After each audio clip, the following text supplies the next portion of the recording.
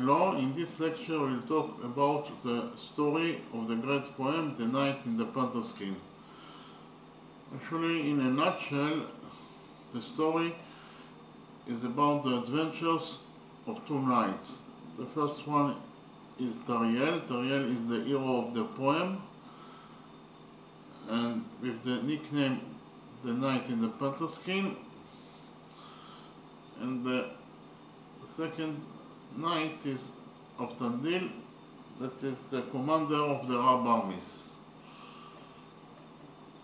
And uh, in more detail, we can say that uh, the story can be divided into two parts.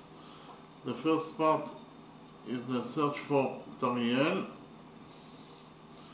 with the nickname The Knight in the Panther Skin, and the second part is the search for Tariel's beloved, the Standard In the first part, the search for Tariel, uh, one day of Tandil, the commander of the Arab armies, challenges uh, King Mustaban, that is the king of Arabia, to a hunting competition and uh, after three days of shooting game they encounter actually they, they set uh, they take a, they took a break and they sat under a tree. And suddenly they saw a mysterious knight that is dressed uh, with a panther skin uh, crying by a river. King Mustaban uh, wanted to know who is the, the mysterious knight, so he sent uh, slaves to try to acknowledge him, but the mysterious knight reacts uh, acted uh, violently and uh, killed all the servants, all the slaves that uh, came to encounter him and then disappeared.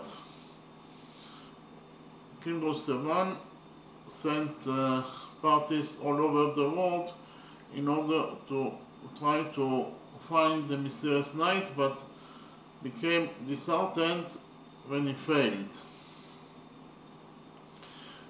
Then the daughter, the only daughter of King Mustaban Tinatin, asks uh, from Avtandil to try to find the mysterious knight and in return he promised to marry him. Actually, Avtandil and Tinatin were in love with each other. So Avtandil searches uh, the mysterious knight for two years and nine months until he finds him and the mysterious knight tells him that his name is and that he was the commander of the fleet of India and he also was in love with uh, King uh, Parsedan's daughter the king of uh, seven kingdoms of uh, India, but uh, so he was in love with King Prasadan's daughter, Nestan Darajan, but she was abducted by the demon king, the king of the Kajis. And from that moment, he became very depressed and uh, actually he was crying and he go to solitude to a wilderness. And he was actually in a cave with uh, only one person that is a maiden. Her name was Asmat and she was the servant of Nestan Darajan. So when Naftandil heard uh, the story, he was very excited and he actually became friend. He promised to, uh, he became friend of, uh, of Tandil and he promises uh, of Tandil to help him to try uh, to help him to find uh, his beloved, the standard. So that is the first part of the story. That is the search for Tariel. And in the second part of the story, the search of Tariel's beloved Nestan Darajan, uh, of Tandil Dariel and 300 soldiers uh, go to the country of the Kajis. Actually, the country of the Kajis is a fortress and uh, it is actually impossible to invade them. And uh, the Kajis are also very strong fighters. So it is actually impossible to rescue Nestan because of the fact that Nestan was kept in a high-rise, uh, in the top of a high-rise building and uh, 24 hours a day guards secure the prison and prevent uh, from, in order to prevent from Nestan to escape or also to prevent a rescue by others. So actually Avtandil Pridon and Tariel with the 300 soldiers did the unthinkable and uh, succeeded to rescue Nestan from her captivity by the Kajis. And the story ends in an happy ending in the sense that uh, Avtandil marries Tinatin and Tariel marries his beloved Nestan Darajan. In the next step, I will tell you the story in more detail.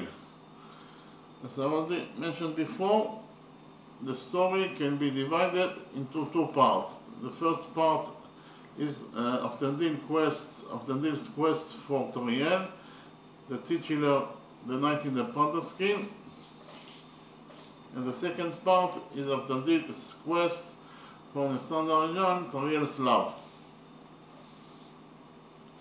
So in the first part, the search for Toriel, the king of Arabia, Osteban, has no sons and confers the kingship and confers the kingship on his only daughter, the beautiful and wise Tinatin. She has a tender affection for Avtandil, the knight and commander-in-chief of Rustevan armies. One day, Avtandil challenges King Rustevan to a hunting competition. After three days of shooting game, they encounter a knight crying by a river. He is dressed in a panther skin and kills the and kills the slaves sent by the king to contact him, then disappears. Mustavan sends parties across the world to search for the mysterious knight, but becomes disheartened when he fails.